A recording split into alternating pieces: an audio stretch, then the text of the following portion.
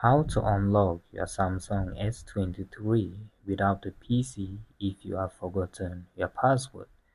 So this is Samsung S23 5G and as you can see it has a pin and I will show you how you can unlock if in case you have forgotten your password.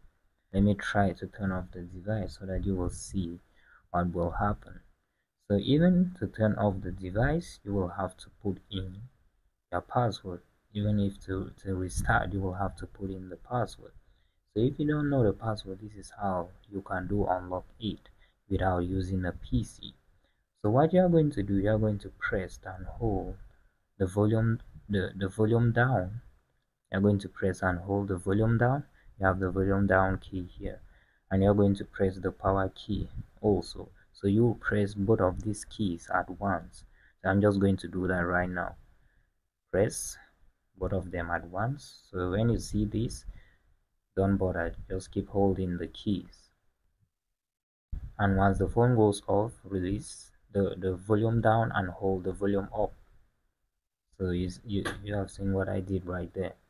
So you keep holding when the phone is on and you see that the screen has gone black then you release the down button then hold the volume up while keep holding. When you see the logo release the power key and keep holding the volume up just like that and very smooth. So it will take you to recovery mode right?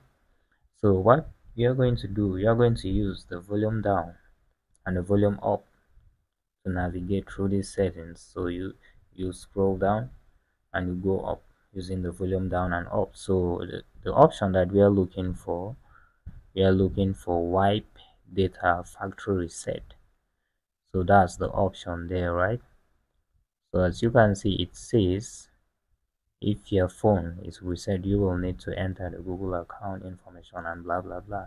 So keep in mind when you are doing this hard reset you will have to confirm that this is actually your phone. When you are signing when you are setting up the phone you will have to to put the google account that was in the phone before you had reset the phone so there is still a possibility that you might not remember. If you cannot remember your password, there is a possibility that you won't even remember the account. So if in case you are stuck with that, I will also show you how you can do unlock that. So all you have to do once you navigate to the option, you click power key. Then go down again and click factory reset just like that and very smooth as you can see you can see the information data wipe complete. So just like that. So click the power key right now and it's going to restart the phone